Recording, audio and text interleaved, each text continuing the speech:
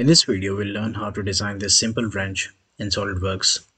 We have top view, front view, unit system is IPS. The material we are going to use for this part is cast iron steel.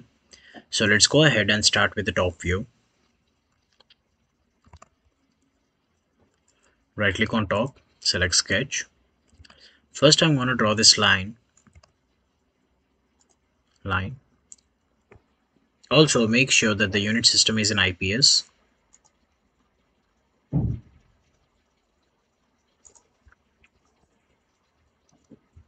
Now I'm going to draw a center line. Smart dimension. The length of this edge is 3.25 inch. Okay. I'm gonna make them equal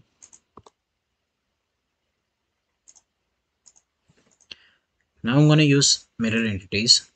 For entities to mirror, select this line and for mirror about, select the center line. Okay. The distance between this line and this line is 0.4 inch. So smart dimension, select these two lines and enter the value as 0.4 inch. Okay. Now I'm going to draw this circle and the dimension of the circle is 0.4 inch and that is radius select circle. Draw a circle touching the edge or endpoint okay? And smart dimension the diameter of the circle is 0.8 inch okay? Now I want to add a relation here. Select this point and select this point and make them horizontal trim entities. Trim the extra part here. Okay. Instead of drawing a circle what I'm gonna do is I'm gonna draw a center line in the middle. Escape. Trim entities. Sorry. Mirror entities. For entities to mirror select the circle and for mirror about select the center line. Okay. Now I want to draw this hexagon. So select polygon. And with this as center draw a hexagon. Escape. Now select any edge and make it horizontal. We have a dimension here. The distance between this line and this line is 0.5 inch.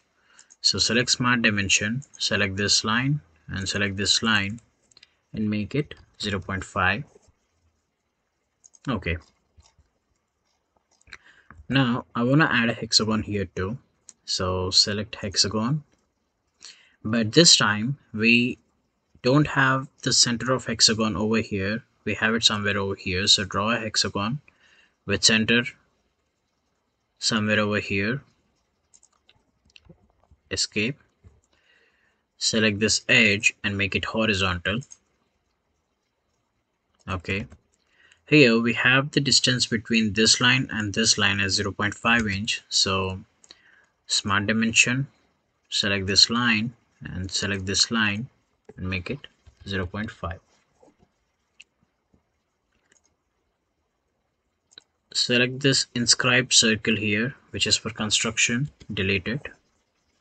And uh, I'm going to draw a line so that we can get this shape select line and draw it somewhere over here. Escape.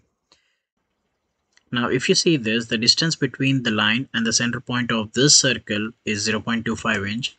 So select smart dimension select the line and select the center point of the circle and make it 0.25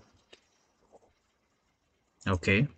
And the distance between the line and uh, this point is 0.4 inch smart dimension. Select this line and select this point and make it 0.4 okay.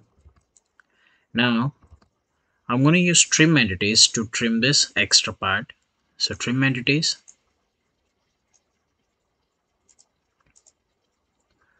Trim this extra part of the circle and hexagon also I'm going to trim this extra line here and uh, this one here. Okay. And we need to add a relation here. That is select this point and select this point and make them horizontal. Now the sketch is fully defined. The only step we are left with is to use extrude boss or base. Select extrude boss or base and uh, the depth is 0.3 inch so enter this value as 0.3 okay.